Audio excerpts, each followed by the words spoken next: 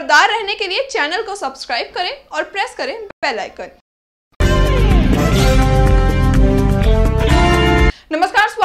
India time 24 news में मैं आपके साथ साक्षी सिंह। किसी भी देश का संविधान उस देश की आत्मा होती है।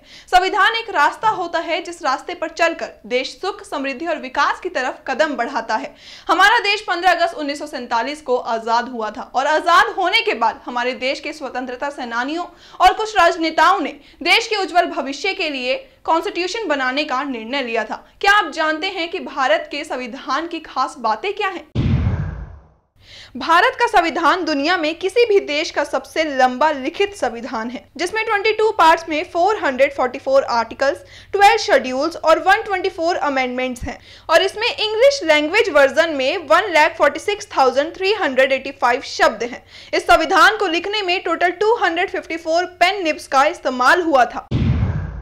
भारत का संविधान एक हाथ से लिखा गया दस्तावेज़ है, ना कि मशीन से। इसे प्रेम बिहारी नारायण रायजादा ने अपने हाथों से इटैलिक स्टाइल में लिखा था और इसके हर पन्ने को शांति निकेतन के दो कलाकार बेवहार राम मनोहर और नंदलाल बोस ने अपने हाथों से सजाया था।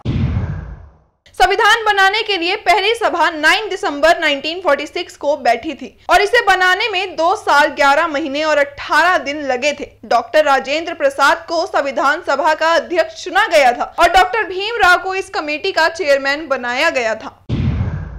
इस संविधान सभा के सदस्यों की कुल संख्या 389 तय की गई थी, जिनमें 292 ब्रिटिश प्रांतों के प्रतिनिधि फोर चीफ कमिश्नर क्षेत्रों के प्रतिनिधि और 93 देशी रियासतों के प्रतिनिधि शामिल थे। लेकिन बाद में ये संख्या घटकर 299 हो गई थी और हैदराबाद अकेली एक ऐसी रियासत थी, जिसके प्रतिनिधि संविधान सभा में शामिल नहीं हुए थे।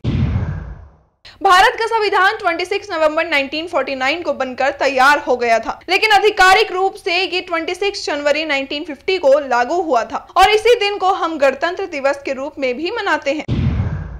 इंडियन कॉन्स्टिट्यूशन पर संविधान सभा के 284 सदस्यों के हस्ताक्षर भी हैं, जिनमें से 15 महिलाएँ थी। ज़्यादातर सदस्यों ने अपने हस्ताक्षर इंग्लिश में किए थे और कुछ ने हिंदी में लेकिन अबुल कलाम आज़ाद सिर्फ़ ऐसे इंसान थे जिन्होंने अपने सिग्नेचर उर्दू में किए थे। 24 जनवरी 1950 को संविधान लागू होने से दो दिन पहले जब संसद में इस पर हस्ताक्षर किए जा रहे थे, उस समय बारिश हो रही थी और संविधान सभा के सदस्यों ने इसे शुभ बताया था। ये संविधान सभा की अंतिम बैठक थी और इसी दिन संविधान सभा के द्वारा डॉक्टर राजेंद्र प्रसाद को भारत का प्रथम राष्ट्रपति भी चुना गया था। भारतीय संविधान दुनिया के अलग अलग देशों से लिया गया है, इसलिए इसे उधार लिया हुआ बैग भी कहा जाता है, जिनमें रूस, America, Ireland, Canada, Australia, Germany, Japan और फ्रांस शामिल है। संविधान का basic structure government of India act 1935 पर आधारित है। संविधान के प्रति जागरूकता को बढ़ावा देने के लिए 26 नवंबर के दिन को संविधान दिवस यानी कि नेशनल लॉ डे के रूप में मनाया जाता है।